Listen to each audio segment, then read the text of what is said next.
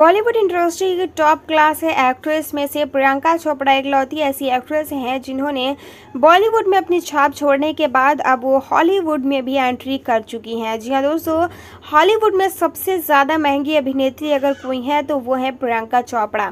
जी हाँ दोस्तों बॉलीवुड इंडस्ट्री में भी अगर कोई पाँच मिनट के पाँच करोड़ रुपये चार्ज करती हैं तो वो है इकलौती प्रियंका चोपड़ा। इस वक्त बॉलीवुड इंडस्ट्री की सबसे महँगी और साथ ही हॉलीवुड इंडस्ट्री की भी सबसे महँगी की एक्ट्रेस बन चुकी हैं प्रियंका। दोस्तों, इतना ज़्यादा सक्सेसफुल हो जाने के बाद भी प्रियंका चोपड़ा अपने लाइफ में कुछ ऐसी चीज़ें हैं जिसे वो कभी चेंज नहीं करती हैं। सबसे पहली चीज़ कि वो अपने फैंस के साथ कभी भी प्राइवेसी मेंटेन नहीं करती हैं। दोस्तों, हमने कई बार देखा है कि एक्टर या फिर एक्ट्रेस पर्सनल और प्रोफेशनल लाइफ को अलग अलग रखते हैं, पर प्रियंका चोपड़ा बॉलीवुड इंडस्ट्री की उन अभिनेत्रियों में से है जो कि ये कहती हैं कि फैंस भगवान है और भगवान से कभी कुछ छुपाया नहीं जाता है। वो हमेशा अपनी पर्सनल और प्रोफेशनल लाइफ को मिक्स करके चलती हैं। उनका कहना है कि वो एक पब्लिक फिगर हैं और उनके ऊपर हर एक उस फ़ैन का हक बनता है जो कि उन्हें पसंद करता है।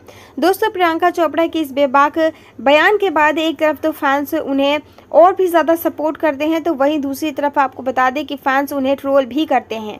आपको जानकर ये हैरानी होगी कि जब से निक जॉन्स के साथ प्रियंका चोपड़ा की शादी हुई है, वो आउट ऑफ़ इंडिया ही रहती हैं। इसके बावजूद जब भी वो इंडिया आती हैं, वो हमेशा प्रेस कॉन्फ्रेंस करती हैं और पिछली बार के प्रेस कॉन्फ्रेंस में उन्होंने कुछ ऐसी बातें भी कह दी थी जिसे देख अभी भी लोग उन्हें ट्रोल करना बंद नहीं कर रहे हैं। जी हाँ दोस्तों, उन्होंने अपने सुहाग रात के बारे में दो लाइनें ऐसी कह दी थी कि निक जॉन्स हमेशा उन्हें बिस्तर पर सेटिस्फाइड करता है और यही चीज़ उन्हें बेहद ज़्यादा पसंद है। दोस्तों, बहुत सारे लोग ऐसे थे जिन्होंने संस्कृति के नाम पर धब्बा बताया था प्रियंका को तो कई सारे फैंस ने उन्हें सपोर्ट भी किया था। दोस्तों, अगर आप भी प्रियंका चोपड़ा को सपोर्ट करते हैं तो इस वीडियो को लाइक कर चैनल को ज़रूर सब्सक्राइब कर लीजिएगा। आपका कीमती समय देने के लिए हमें धन्यवाद।